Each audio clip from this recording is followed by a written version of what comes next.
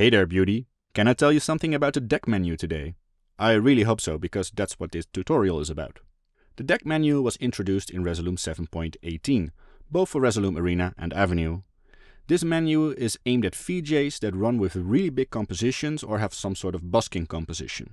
When you are working with a lot of clips in your composition, you can put them in decks to stay organized and make sure not all clips are loaded into memory.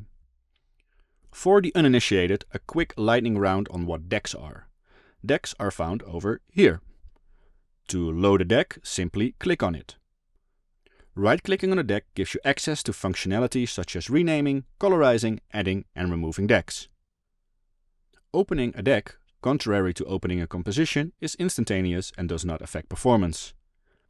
These little arrow buttons over here can be used to scroll through the decks and can be, just like the decks themselves, be assigned to shortcuts.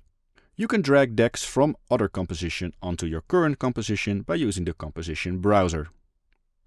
Now that you're up to speed, we can talk about the deck menu. When you fill up the space for decks, the deck menu will appear. It is indicated by this hamburger icon sandwiched between these arrow buttons. These arrows allow you to scroll horizontally through your decks without selecting them. Hitting the button will open up the deck menu. Here you can quickly navigate through all your decks. Of course, you are a good little VJ and you have named and color-coded your decks so you know exactly what is where. Selecting a deck here will open that deck and also move the horizontal bar of decks to that deck. The deck menu can also be used to organize your composition. You can click and hold a deck to drag it around within the deck menu. And that's all there is to it. I hope you have enjoyed this tutorial and start using decks responsibly.